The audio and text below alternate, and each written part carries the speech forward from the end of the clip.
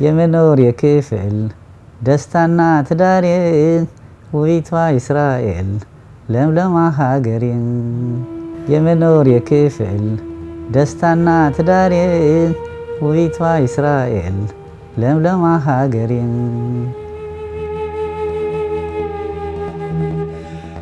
אנחנו באנו שנת 80 מאתיופיה לסודאן, דרך ארוכה. יצאנו למסע, מסע קשה. אנחנו לא יודעים לאיפה, אנחנו בערך אנחנו הולכים. זה מדבר, זה מאוד קשה, אבל הייתה לנו מנה להגיע לארץ ישראל, לירושלים.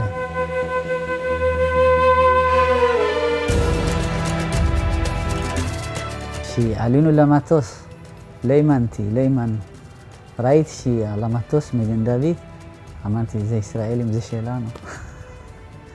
הגענו לארץ, זוג צעיר, למדנו באולפן, באופקים היינו, וחלום שלנו שהילדים שילדו לנו, שיצליחו בחיים.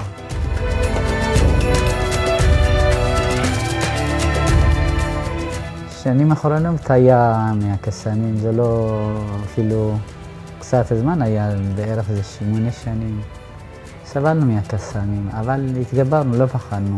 קצת היא פחדה, היה קצת בעיות איתה, אבל הבנות שלי עזרו לנו, הבנות מאוד עזרו, שחיזקו אותנו, חיזקו איתי אימא שלהם. כל כך התלהבה, שיש אפשר לשיר, אז היא שרה, וככה התחילה כל הדרך. אז כל פעם לא הייתה מפספסת, היא רוצה להופיע, רוצה להיות שרה ראשונה. וככה זה היה, ככה המשך כל השנים. אז המשיכה, היא סיימה יפה את הבית ספר, והתגייסה ללהקת צבאית.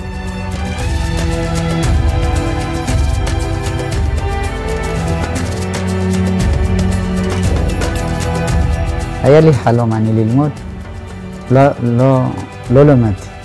היה לי חלום לשיר, לא שרתי. אבל אתם, אין סיבה שלא תתקדם. זו מדינה שלנו.